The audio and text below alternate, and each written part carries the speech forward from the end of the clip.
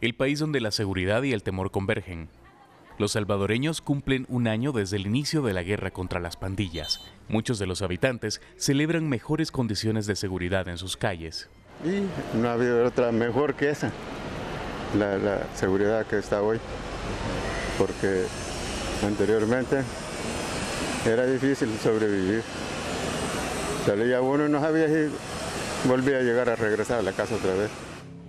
Fue el 27 de marzo del 2022 cuando el gobierno estableció un régimen de excepción como respuesta a 87 homicidios perpetrados durante tres días.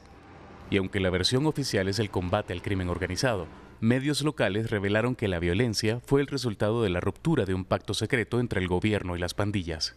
Según cifras oficiales, la medida ha dejado más de 60.000 pandilleros detenidos, pero organismos locales reportan más de 3.000 detenciones arbitrarias. Incluso denuncian que 72 personas murieron en custodia del Estado.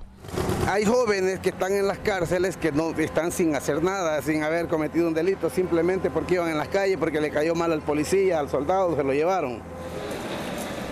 Amnistía Internacional y otros organismos critican los métodos del presidente Nayib Bukele, cuya campaña de seguridad le da puntos en las encuestas. Pero dentro de las prisiones, algunos funcionarios creen que las pandillas no están desarticuladas y que podrían actuar en venganza en cualquier momento.